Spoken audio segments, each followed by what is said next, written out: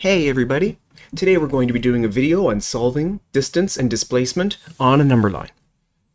So when we're solving distance and displacement, the important thing to remember is that distance is the sum of all changes in position. So every time you change position, you have to add up how far you went. If we change position three times, we have to add it up three times. And our displacement, our displacement is just the position change between the beginning and the end. And we're going to put a little bit on here because with directions, you got to tell me left or right. So whereas distance is just going to add up all of our changes in position, our displacement is just going to look at where we began and where we ended, tell us how far away we are and in which direction. So this is an example path, so we're going to do an example here. Example time.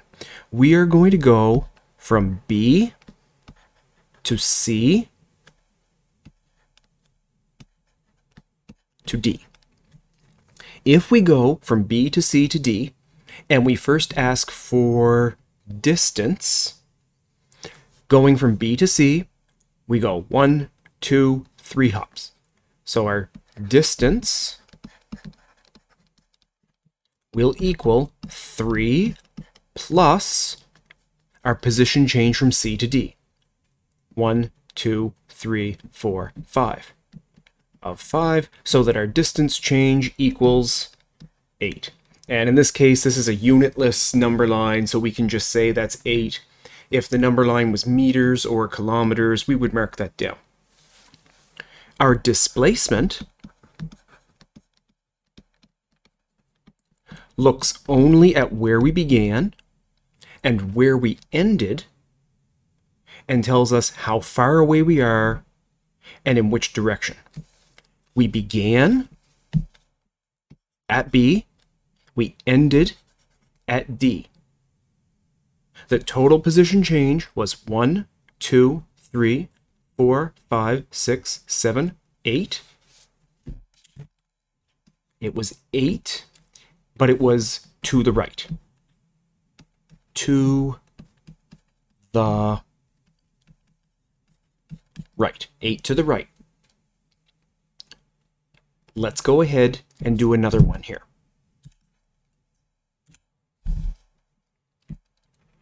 In this path, we're going to try going from B to C to A. If we go from B to C to A, our distance is all of our changes in position, how far we would have to walk. Going from B to C is one, two, three.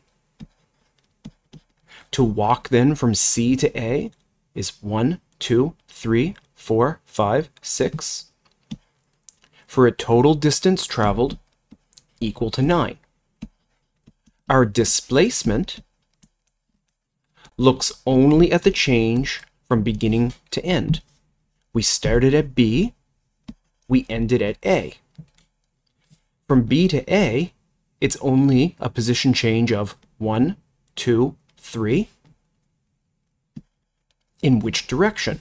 If we started at B and ended at A, that's a displacement of 3 to the left. Our distance is our total sum of all of our position changes. We had to walk nine blocks, nine units in order to go from B to C to A. But at the end of the day, our displacement was only three to the left. Let's try one more. C to D to B to C. Oh, we got all kinds here. If we want our distance in this example, we first have to walk from C to D. One, two, three, four, five. Then we have to go from D to B. One, two, three, four, five, six, seven, eight. And finally, the last leg of our journey, B to C, one, two, three. For a total distance traveled of 16. That's how far we would have to walk to go from C to B, or C to D to B to C. But what about our displacement in this case?